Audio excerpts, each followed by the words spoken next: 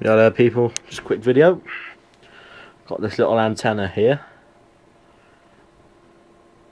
Little dipole, hang on. There's the base, coax goes in there. You just put the sections the way you want and lock them off with that nut there.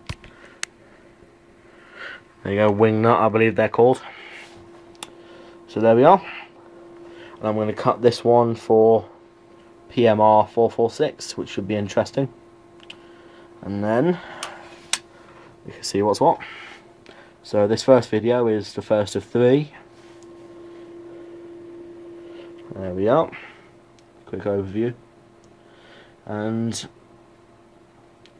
next video will be when the cutting of the antenna has been finished and the coax has been installed.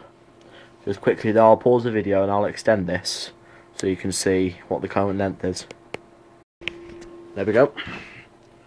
There's the bottom and there's the centre. There's one leg and here's the other leg. It's about 5 foot 11 in total length if you're going that way up, kind of that way. So just a little bit shorter than me. So there we have it. There we are. One end, centre, and the other end. Alright then, this is the first of three videos as I said. So I'll make the second one as soon as I've cut this, which will probably be tomorrow after the Mike Romeo Spring CB net. So, 73s.